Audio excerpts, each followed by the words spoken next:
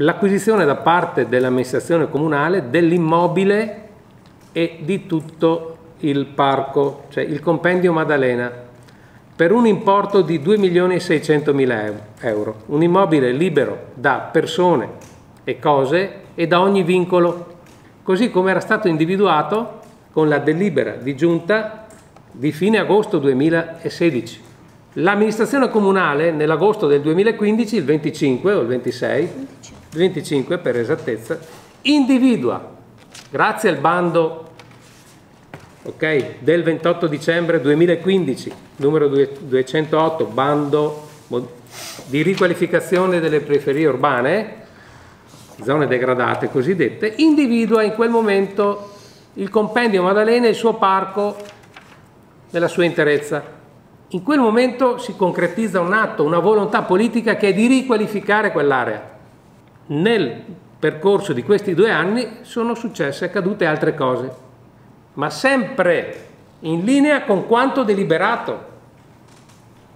Naturalmente, essendo un immobile di proprietà dei privati, noi abbiamo intrapreso un percorso coinvolgendo i privati.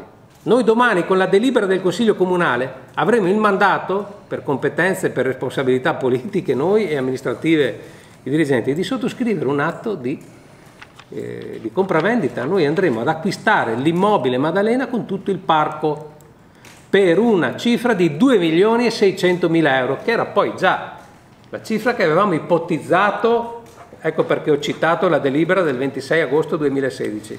Quell'immobile tutto il compendio è stato valutato dall'Agenzia delle Entrate 3 milioni 955 mila euro. Noi lo, lo, acquistiamo per 2 milioni e 6. Punto. E andremo a restituire alla città quella parte di parco giochi dove tante nostre famiglie, mamme, papà, nonni, zii, cugini e tutti si recano quotidianamente con i propri nipoti, figli, amiche ed amici ma che però vedono quell'orribile rete arancione che la separa da una parte importante del parco. Il parco nella sua interezza è 34.000 metri quadrati. Voi lo sapete, ci sono piante secolari, cioè abbiamo un vincolo da parte della sovrintendenza delle belle arti di Verona anche per quanto riguarda l'area del parco. La superficie dell'immobile è di, 2000, eh, di 12.000 metri quadrati, ok? Suddivisa in tutti i piani ci saranno 2600 metri quadrati di archivio comunale, poi ci saranno il primo piano e il secondo piano, quindi per una superficie circa di 4600 metri quadrati, destinata ad uso ufficio. Terzo piano, la parte centrale verrà recuperata come sala polivalente, poi abbiamo l'ultimo piano, il quarto piano dove ci sarà tutto il fotovoltaico, delle grandi terrazze, L'importante è che all'interno comunque di questa rimodulazione ci saranno comunque 5 km circa delle strade che sono elencate nella delibera. Illuminazione pubblica con 94 punti luce. Parliamo di 13 milioni e mezzo, punto. Meno 2 milioni e 6 è una cifra importante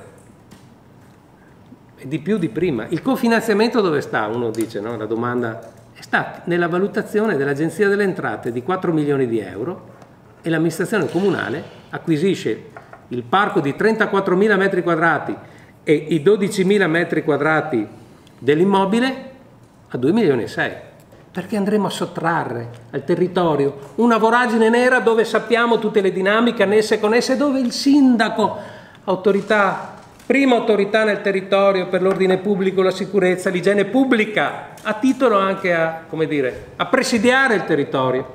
Tutte le dinamiche che Reale e Cefil hanno con altri soggetti a noi non interessano. Perché io arrivo privato, dal eh. notaio, andrò dal notaio a sottoscrivere un atto di compravendita, io rimango fermo sulle mie posizioni. Se attorno a me tutti gli altri girano, io sono fermo. Sono fermo, ma non perché immobile, perché produco degli atti e quando dico che l'area si riqualifica, si riqualifica. E quando approvo in giunta, 25 agosto, un atto, vado avanti. Poi qualcuno, succede, eh? ragazzi, cioè succede anche quando anche puoi fare un preliminare di compravendita, eh, chi te la deve vendere cambia idea, perde la caparra, no? Cioè, adesso non fraintendetemi, si può anche cambiare idea, no? Quando sono intervenuto, eh, l'ultima volta a, a giugno, presso i giardini pubblici eh, della commenda sono entrato nell'area pubblica, ho constatato che la rete era aperta, ho, chiamato, ho chiesto l'intervento della polizia locale e insieme alla polizia locale siamo entrati perché eh, dall'interno provenivano delle voci. Infatti all'interno dell'area interdetta c'erano delle persone. Abbiamo prodotto un atto sottoposto alla firma dei privati, ok? Per, per, per trovare un accordo. In prima istanza l'ha sottoscritto solo un socio, ma non voglio parlare di chi non c'è. E dopodiché eh, ci ha pensato un po' e ha sottoscritto. Viva Reale, viva Filon, viva Bergamin, la sua giunta, la squadra e il gol. Punto. Questo conta. La sofferenza di quando passi per vicino lì e vedi che c'è questa rete. O quando scendi dalla macchina, parcheggi, entri nel parco e chiacchieri con, con la mamma, con il papà, con, con, il nonno. Non sono ancora nonno però. C'è, c'è anche sentimento, sofferenza, amore, quindi quando, come dire, vorresti fare una cosa ma non ci riesci per tutta una serie di situazioni, soffri. Se sei una persona che ama il proprio ruolo, la propria missione, il proprio programma, soffri. E oggi è anche una liberazione, insomma. Poi, attenzione, deve essere il consiglio, domani.